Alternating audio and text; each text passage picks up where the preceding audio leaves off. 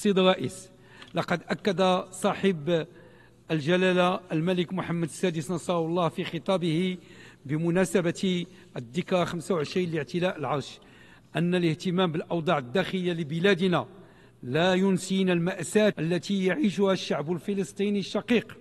وفي هذا الإطار تضم بلادنا صوتها إلى صوت باقي الدول الإسلامية والعربية للتعبير عن فائق القلق حول الأوضاع الخطيرة والغير مسبوقة التي تعرفها الأراضي الفلسطينية المحتلة منذ أكتوبر 2023 والتي راح ضحيتها آلاف القتلى والجرحى في صفوف المدنيين أغلبهم من الأطفال والنساء بالإضافة إلى الدمار الهائل والحصار الشامل على غزة في خرق سافر للقوانين الدولية والقيم الإنسانية.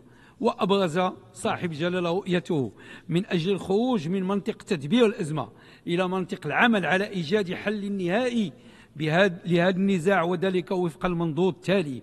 أولا إذا كان التوصل إلى وقف الحرب في غزة أولوية عاجلة فإنه يجب أن يتم بموازاة مع فتح أفق سياسي كفيل بإقرار سلام عادل ودائم في المنطقة. ثانيا إن اعتماد المفاوضات لإحياء عملية السلام بين الطرفين الفلسطيني والإسرائيلي. يتطلب قطع الطريق على المتطرفين من أي جهة كانوا. ثالثا إن إرسال الأمن والاستقرار بالمنطقة لن يكتمل إلا في إطار حل الدولتين. تكون فيها غزة جزء لا يتجزأ من أراضي الدولة الفلسطينية المستقلة وعاصمتها القدس الشرقية.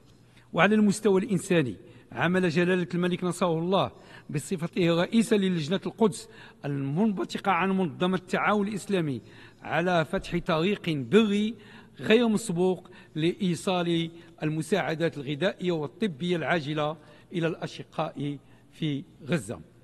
كما تعبر المملكة المغربية عن بالغ قلقها في التطورات الأخيرة في منطقة الشرق الأوسط فكل المؤشرات تشير إلى أننا أمام وضع غير مسبوق من شأنه توسيع دائرة الصراع والذي قد يدخل المنطقة برمتها في مرحلة لا يمكن التكهن بتأثيرها وتداعياتها. ولقد سبق لصاحب جلالة الملك محمد السادس أن أكد بأن انسداد الأفق السياسي للقضية الفلسطينية يعتبر من أهم الأسباب التي تؤجج الصراع في منطقة الشرق الأوسط.